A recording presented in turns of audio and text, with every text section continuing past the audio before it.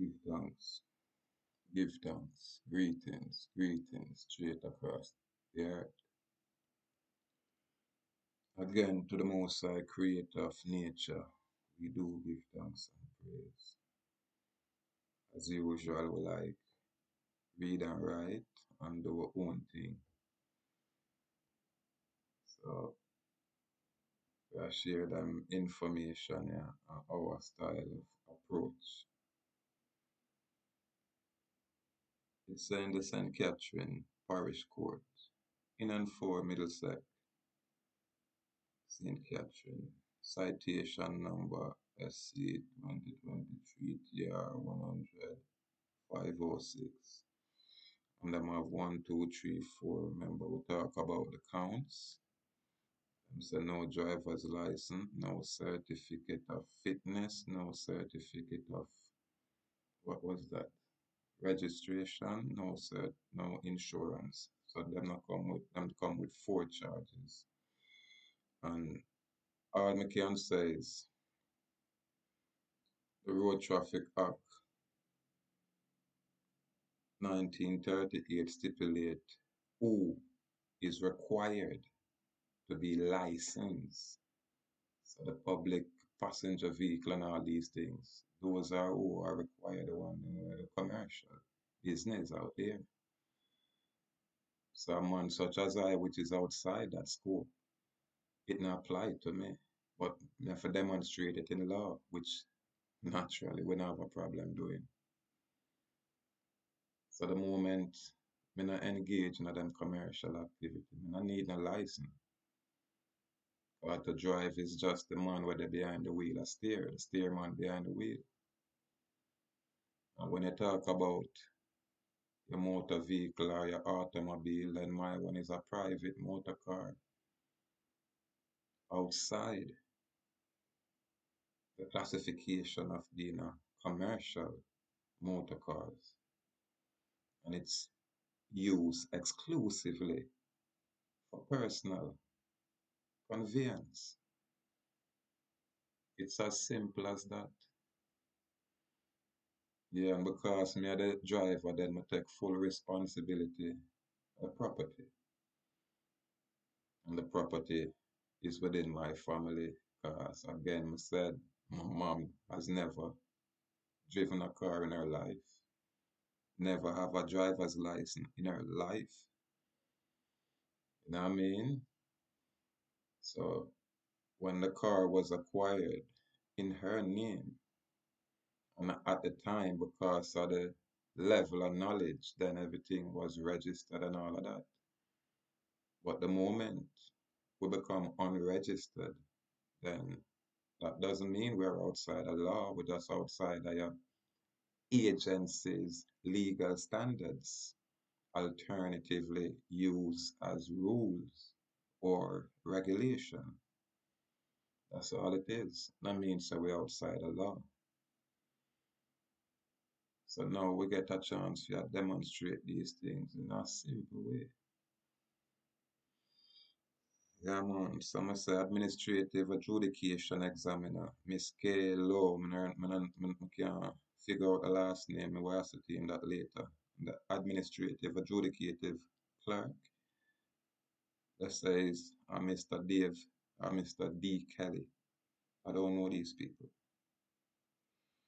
And then Mr. Government of Jamaica Agency, Public Authority, Court Administrative Division, Public Service Commission, Police Service, Agent, Senior Sergeant A. Edwards, Agent, Constable A. Morgan, Plaintiff. So them I bring the claim. Them I bring the claim against Linton O'Neill Dallas. Legal fiction as surety. So them actually want bring a claim against the estate, the surety. This is why I'm going to tell you people it has nothing to do with the paper money, those negotiable instruments you guys are, you know, concerned about. No, it have everything to do with the birth registration form, that birth certificate, that sophisticated financial instrument. Everything to do with that. And this is why when I was arrested and imprisoned and had to sign a recognizance bond to walk out of that imprisonment demonstrates uh, there is two entity on that document. There is a prisoner and there is a surety. And the beautiful police lady, beautiful police lady, said I must sign this in order to get out. You understand? And there's another contract that is separate from the notice of recognizance. All of these things are, you know, evidence of what we would call fraud so we not understand all of what So because we not understand, we are say, yeah, we are not a fraud this. However, let's see what it is. So when we sell Linton O'Neill Dallas, it's in all caps, and this is all they can deal with, that birth certificate entity. And the moment I not consent, it will constitute fraud. But if we not document it, then who will know? If we not present it, then who will know? Now I said verification of police witness statement. Why I said that? Because on the 28th of July, I went to the court office in Spanish Town. By that order, the judge or the administrative adjudication examiner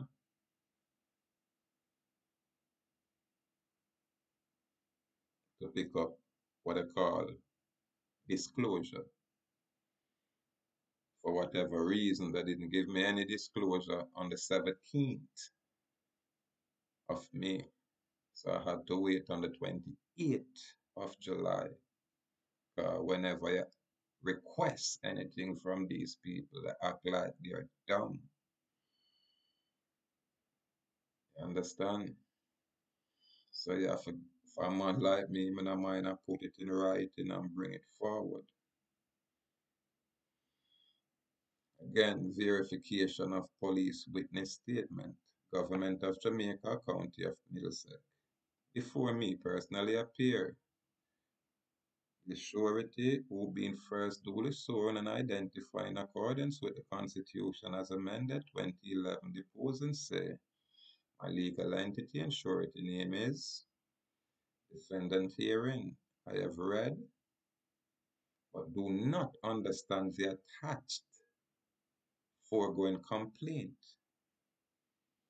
i.e., witness statement filed herein, and each fact alleged therein is true and correct of my own personal knowledge. Hear that? And each fact alleged therein is true and correct of my own personal knowledge and respectfully presented. You know, we drop some signature right there, the surety signature. I'm really, I think about using a quorum witness. Yeah. Yeah, man, because I have some proper people can drop as witness opposed to just the justice of the peace. And sometimes the justice of the peace them because some of them not really sharp as you know any kind of attorney, them would, you know, be a bit reticent for, for act when them have a public office where them can't be, you know, hesitant to do their public duty. Uh, that's what them have them little oath about. But I really would I like to drop some probably some quorum witness. Quorum witness, yeah man. But I'll consider it.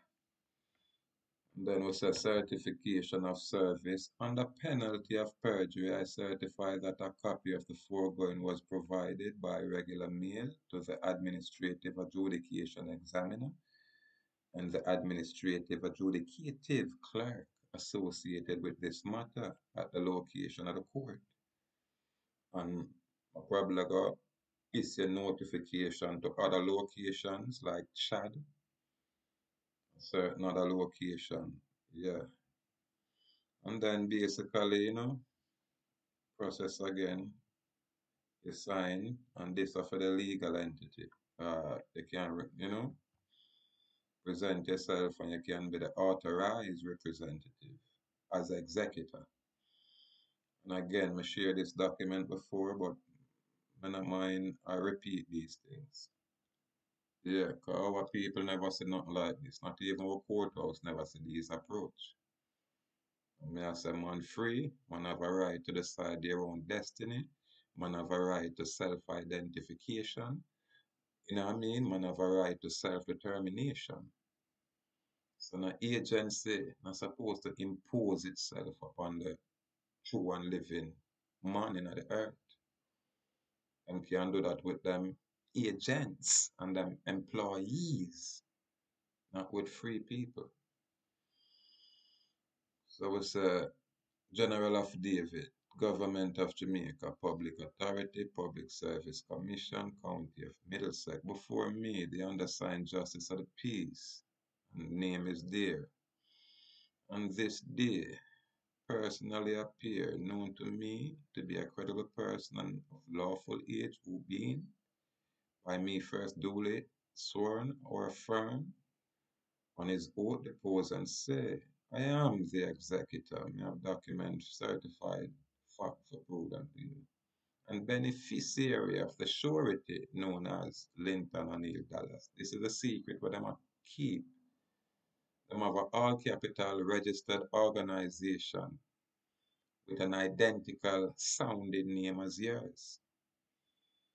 You understand? The looks are different because your true name is in upon lowercase. You know what I mean?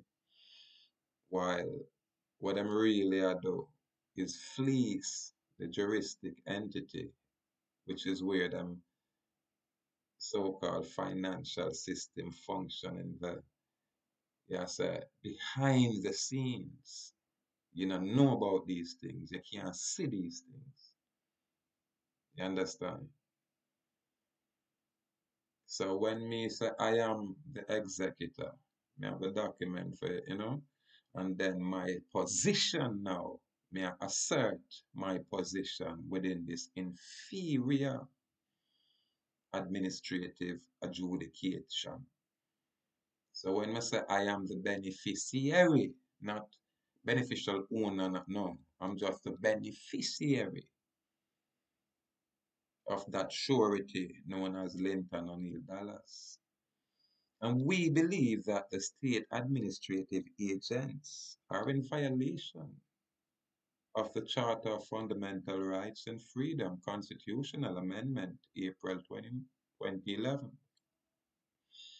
On appeal, and or, should I put or, inherent, common, and natural law rights, we believe the agency's statutory legal standard, alternatively called rules or regulations,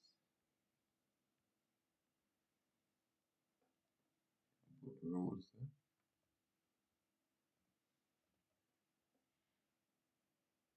are an abridgment, abrogation, and infringement of our inherent dignity as man and woman, along with my fundamental rights and freedom secure and guaranteed by the constitutional amendment of April 2011. And this is where we are stated, uh, this are going to them quote on the record, quote the county record. That say I'm not a public servant, nor am I a public employee, and any claim to the contrary must be proven by payroll records and my alleged public servant title and sworn under penalty of perjury and full commercial liability. I do not operate or hire or reward business using the highways, roads, or street for any city, county, or state using a commercial vehicle.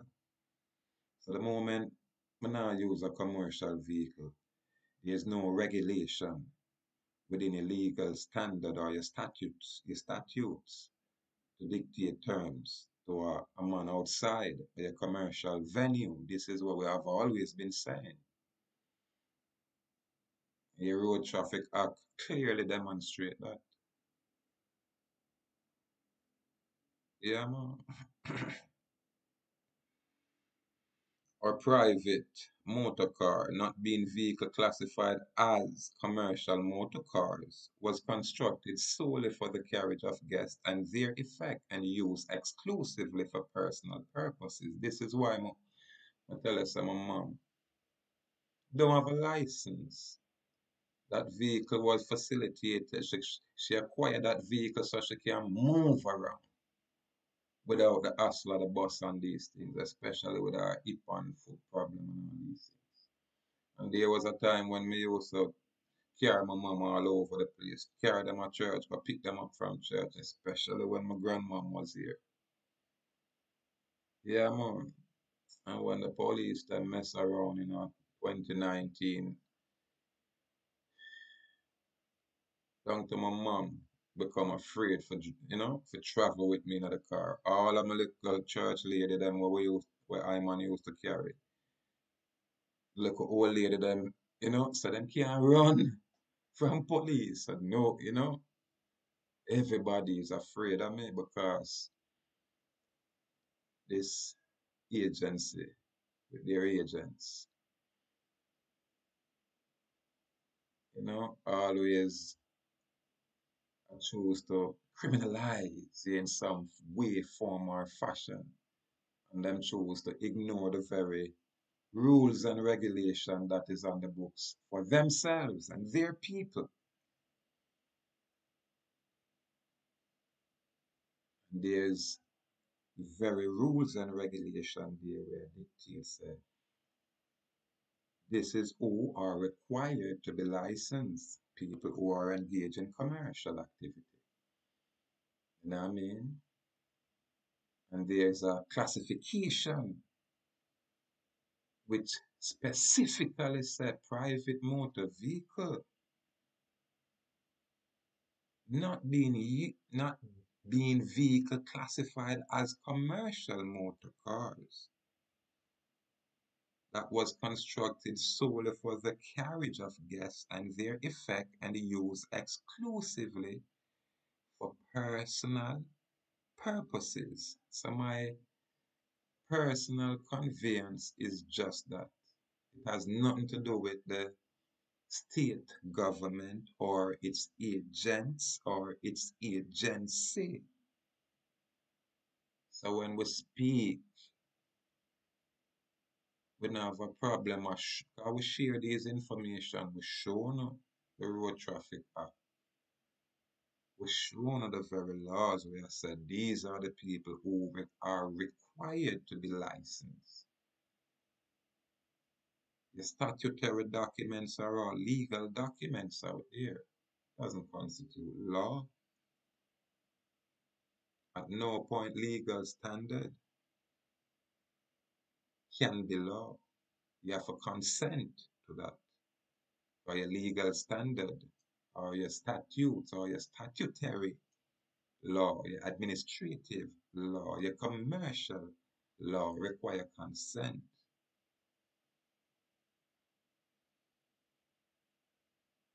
These things require consent, people. Yeah, man. So it's additionally vehicle used by their owners. Again, them say according to phone thing owner have to be registered. listen, again, your very law states that your regulation applies to people who engage in a commercial activity. It's as simple as that. The moment you're we are outside of your commercial venue, then there is no regulations or no rules that can apply to us. And that goes not just for me, That goes for even you, the basic man, because the very law show yourself. You don't have to do none of what them I tell you to do. Them just offer contractual service and you can reject it or you can revoke it or you can rescind it. You have that free will choice. And this is why I man choose to approach this thing this way. Yeah, man. So it's uh, again additionally vehicle used by their owners in pursuit of their profession or business for their personal conveyance shall not be deemed to be a commercial motor car pursuant to the Road Traffic Act 1938. So right there, when people have to, I tell you about you have to have license for what? If you're if you're a taxi driver, if you're a chauffeur getting paid, if you are drive bus, minivan, and I collect passengers, and these are the people who are required to be licensed. You know, that's license everybody straight across the board. I object to that. I mean, I you your own very legal standard.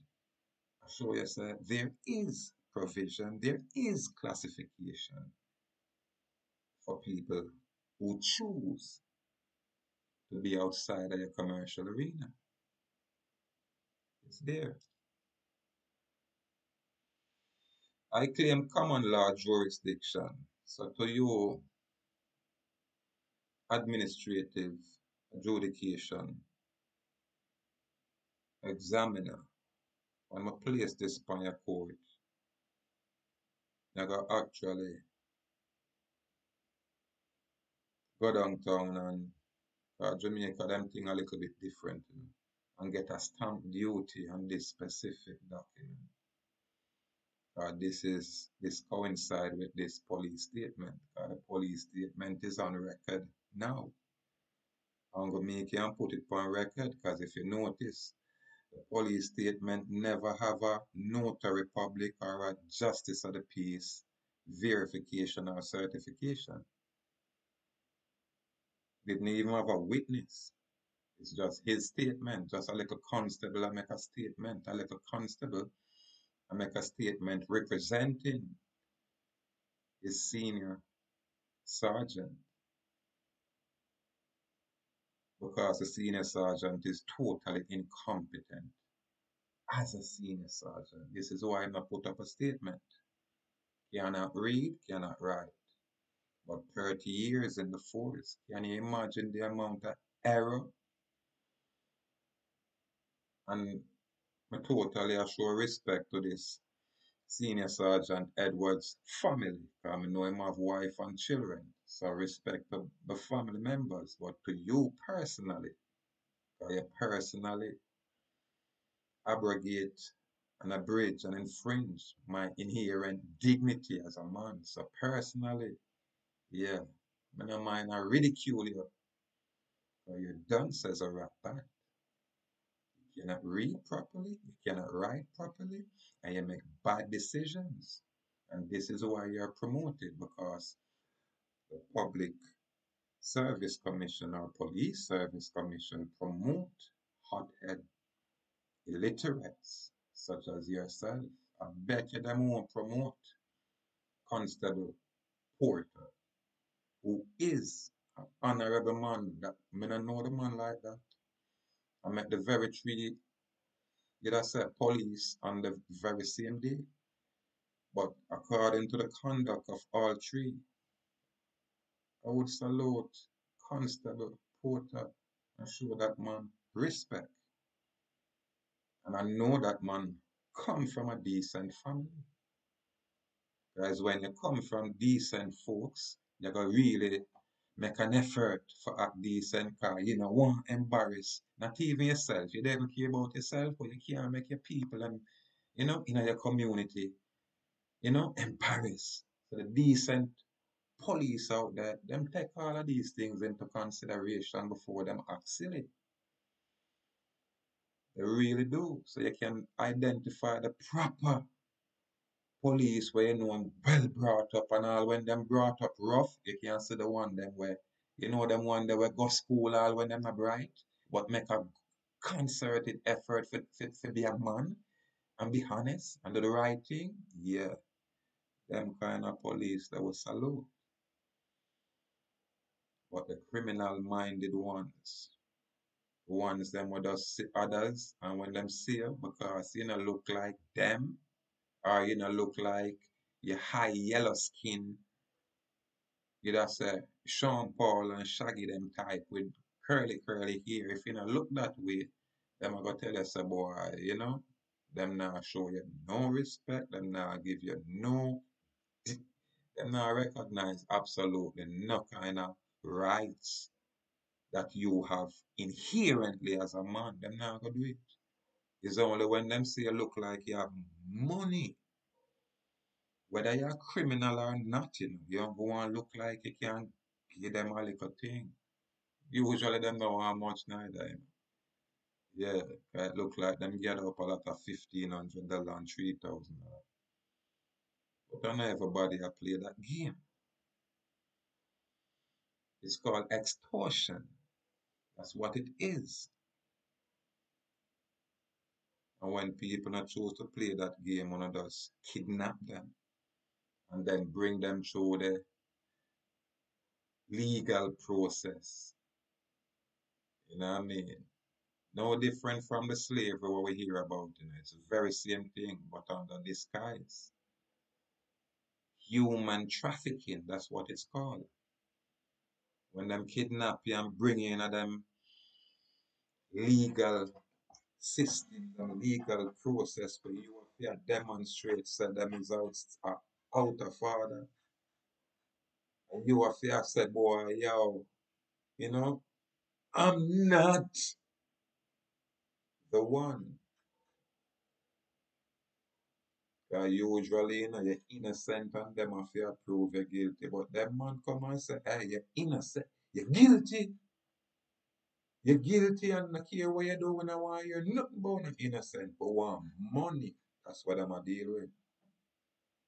So me I go ask you know where is the money?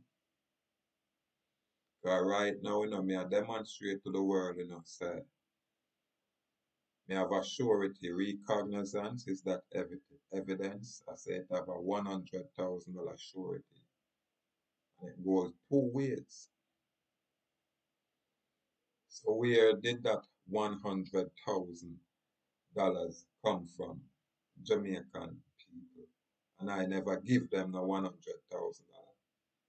God them say it is my own recognizance bond and I sign as a prisoner and I sign as the surety. So now this is what me I ask you Jamaican people. What is money? Oh, all of a sudden a hundred thousand just manifest out of the blues and appear on piece of paper. Where does this one hundred thousand derive from? From whom? Is it the surety? So who is the surety attached to? And what is the surety? Am I not separate and distinct from this legal entity, this legal fiction as surety? This is why we say we are, you know, living soul manifests. And I manifest as man. Yeah, man. So the persons and the personas are separate and distinct entities from the man. Just like the man would be the vessel. But within the man, yeah, is that soul, that life spark. Yeah, uh, where does this vessel where I look at?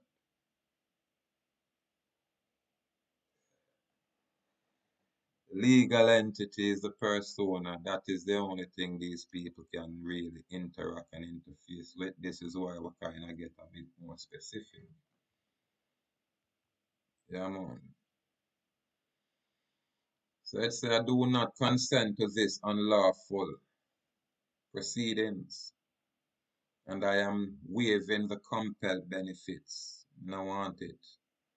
I do not surrender any natural or common law rights in this proceeding. I do not plead the courts of contract. I also reserve all civil rights, including the right to file a statement of claim for the abridgment, abrogation, and infringement of my, my, of my inherent dignity as man, freedom of movement, common and natural law rights, guaranteed by the Charter of Fundamental Rights and Freedom, Constitutional Amendment 2011.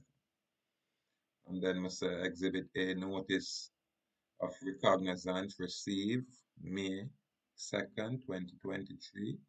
Exhibit B, police witness statement received 28th of July 2023. Then we say commercial affidavit, oath verification, affirmation, duly signed and sealed. I, Linton O'Neill, Dallas executor and beneficiary under my unlimited liability and commercial oath proceeding in good faith, being of sound mind, having first and knowledge, testify, affirm, state, and declare that the foregoing is true and correct. On this day, undersigned by the undersigned executor and beneficiary. So, be executed, and by this execution being made to appear indeed, enacted, and decreed, respectfully presented, la la la right there. So basically this is just a simple document going to place upon the administrative adjudicatory proceedings. Yeah, man. Paper war right now. I will just go through the motion and document these things. Uh, you know, them outside of the scope of them authority by a mile. And all we can do is make an effort to demonstrate these things. Yeah, man. So, I bear full responsibility as that driver according to the interpretation used in the Road Traffic Act 1938 which the driver is just a steerman behind the wheel. That's it. You know what I mean? And you know the very act I think I 11 it a breakdown who is required to be licensed once you have commercial business out there. And down, you know, in a 78 it will break down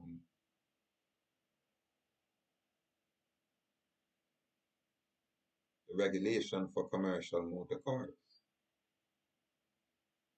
Yeah man, and then it have all kind of different issues that are about the people it apply to and the very rules and regulation is applicable to. It can apply to outside of that. We are demonstrate these things on a very rules and regulation, on a very legal standard. Keep it simple. Again, complete gratitude. We just have to demonstrate with knowledge out here, you know. Truly. Yeah man, and it's you know, so much information, more time I like touch upon all different kind of levels still. Have a information me a peep through, you know. We have a definition of most of the matrix, an organizational structure in which two or more lines of command, responsibility, or communication may run through the same individual. And them say the origin late Middle English, and it's uh, in the sense of womb. From Latin, breeding female, later womb, from mater, mater, and then it go down to mother. So matrix, you have to say synonymous with mother, 'cause remember the definition. So when we see the commercial foreign construct out there as it is, and we say it's a matrix, then you know outside of you know the truth when I say that because again, It's an organizational structure in which two or more lines of command, two or more lines of command, two or more lines of orders.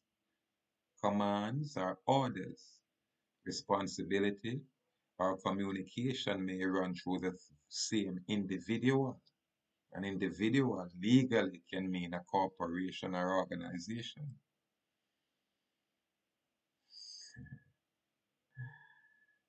It has uh, the presumptions concerning the series of transactions that comprises the birth scheme whereby government convert the birth of a child into a financial asset to underwrite the public debt and the issuance of substance void currency. Yeah, make some adjustment with the information. Dubbed by the unknown author the Uniform Securitization Scheme, or USS. This universal pattern of legalization, registration, certification, securitization, and general deposit is revealed to be a blueprint for virtually every event of our lives involving government agencies, from simple purchase to the most complex banking, economic, and court transactions, in particular, the metamorphosis of loan application into saleable securities. So, you know, I don't make this thing too long, but never does touch upon few and then wrap it up. The Uniform Securitization Scheme. And it has uh, alright. In 1933, when most privately held gold was confiscated by the Federal Reserve System under Executive Order 6102 and obligations payable in gold were outlawed under HJR 192 Public Law 7310. The substance backed economy was replaced by a substance void financial system based on credit. Credit means IOUs which is currently feeling under the weight of its own nature, and that nature is simply nothing, void, empty promises to pay, backed by fraudulent presumption of informed consent. it is an economy where the books always add up to zero, where the very nature of bookkeeping had to be altered to disguise the void double book entry, double book entry bookkeeping, or double entry bookkeeping, where the notion of a single entry to explain your purchase of a pack of gum was apparently inadequate to hide the theft of your money where every asset is also entered as an offsetting liability, where the law itself had to be replaced by commercial hypocrisy or commercial legality. Where the sum total of all activity in every government licensed institution, bank, courts, and corporation equal zero every day, where transaction which once involved the exchange of goods and services of equal value now evolve now involve the exchange of securities of equal value. That means that it's nothing at all. That's uh, now involve the exchange of securities of equal value. Nothing, as the term value is defined in inferior statutory or administrative legal standard, alternatively called rules and regulations. So value is defined as nothing. Yeah, I'm not even gonna push no further. This would seem the world seems to suffer from a conundrum of legality, or more correctly, a conundrum of frauds, wherein the concept of value is established by words on the page instead of the perceived value of goods, services, and labor at hand, where up is down, black is white, and timeless immorality is perfectly legal. This is why I'm a born on a legality, I'm a born on a legal system, born on a legal standard, because it's separate and distinct from law. This is why I always say what is lawful is separate and distinct from what is legal, and what is legal is not necessarily lawful. But the law, you know, for ask if it's wrong or right. But with legality, you can get a license to kill, to steal, to plunder, to fleece. You can get a license to do all kind of unlawful act. But once you're licensed, then it's okay. So now, you people, see the distinction between lawful and legal. When it's a constitutional law, that's where the lawful side is, only because it have a Bill of Rights, which is a Charter of Fundamental Rights and Freedom. When you talk about legality, that's where the legal standard, alternatively used, are called rules or regulation. That's where that is, where it requires consent. So even when an administrative adjudication examiner is present, it's still incumbent on them to be fair and impartial. The moment you give the hint of partiality, you have to remove yourself from the case. You're disqualified. Simple. And when an examiner present themselves, they must first express who they are, express the nature and cause of whatever action being presented. Then you can try to ascertain if one have comprehension or comprehensive understanding. We can't just treat everybody like chattel. You talk to everybody like you're a slave. And then you go home and sleep good at night. No. We will ridicule you. We will call you out. We will question your personal ability to at least sit as an umpire or a fact finder or a administrative adjudication examiner. Yeah, man. There's rule of law out there, man. But we're not specifies what law are we talking about. We adhere to the Mosai's law, and the Mosai's law is in conformity with the constitutional law. And it's outside of the legality, separate and distinct from legality. That is it. Keep it simple. Salute out there, people. Yeah, man. See where we are there so we can touch upon. Yeah, man. That is it, man.